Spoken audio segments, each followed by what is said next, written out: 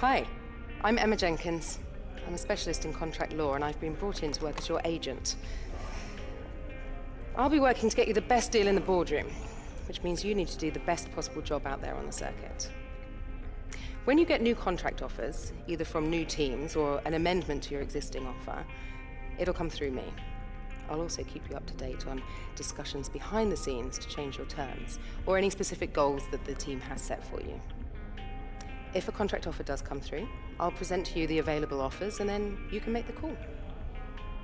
I assume that all sounds fine. Well then, good luck this season, and I'll catch you later. Okay, so we're back here with F1 2016 career mode. So, yeah, we did McLaren Honda.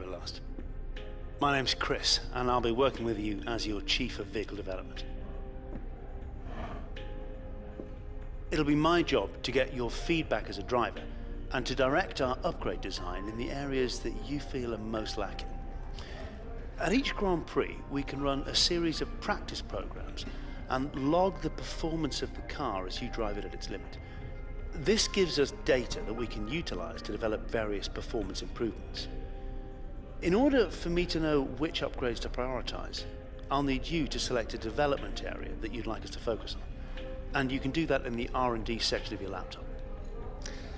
Anyway, that's all for now. But I'll keep you up to date, okay? I'll see you soon.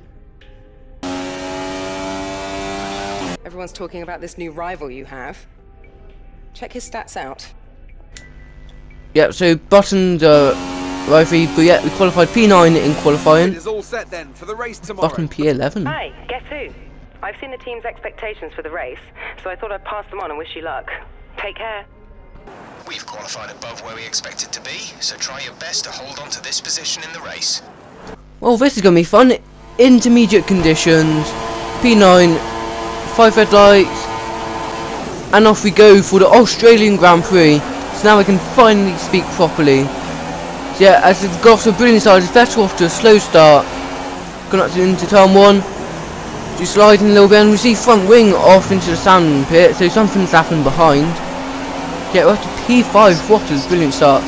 Yeah, onto that 3, Kimi Raikkonen is trying to overtake us, going to leave room in turn 1, we make a mistake by doing that, but Kimi's locked up. Yeah, there you go, on board. As you can see our helmet. He just locked up randomly. He could have survived that corner. Yeah. Via Yeah, Haryanto's out of the race sadly. So quite like Haryanto. Couldn't couldn't afford not to see that.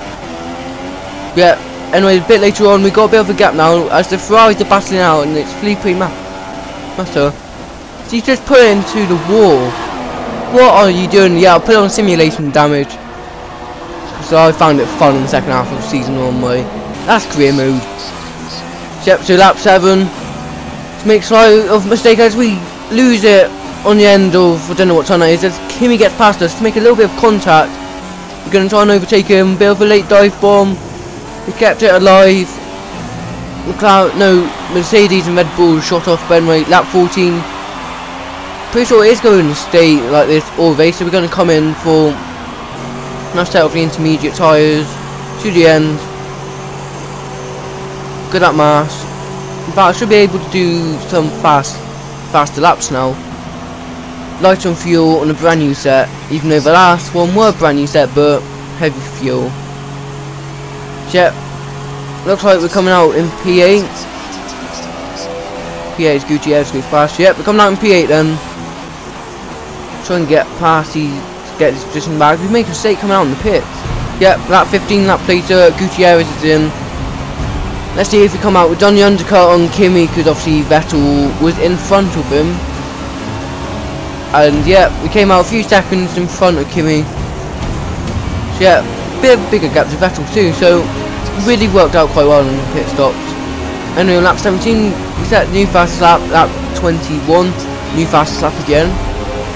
Lap 24, been setting quite good fast laps. Anyway, it's been a yellow flag in front. She looked to try and overtake the Sauber, but yeah, we've gone purple, and who's that? It's Hamilton, we're up to P4. We're catching up the Red Bull ever so slightly, but laps later, in the same place, is that an engine failure? Max Verstappen is out of the race. We have got a podium. Oh my god. We come around the last corner. We have came in P3. What a brilliant result. I thought we'd have stayed in P5. But Hamilton, I don't know what happened to him. I couldn't get the replay of it sadly, but he somehow crashed out and Verstappen with a lap to go had an engine failure. Jesus Christ. We got a podium already. This is on Master It's a heroic effort for AI. drivers for racing conditions. So one up what we played with last time. Very special indeed. I've not played this game since grip, all the good lines, oh, a good few confidence to get on the weeks. power to top it all off. Probably over a month. First place here today. This is before all this fun online shit happened. the excitement of that race, So yeah, we're on the podium somehow. to our drivers here. But that was brilliant hard to make it up ending. But Nico Rosberg, sadly, will race winner, but it, it'll have to do. McLaren on the podium, I never thought I'll ever expect that this early on.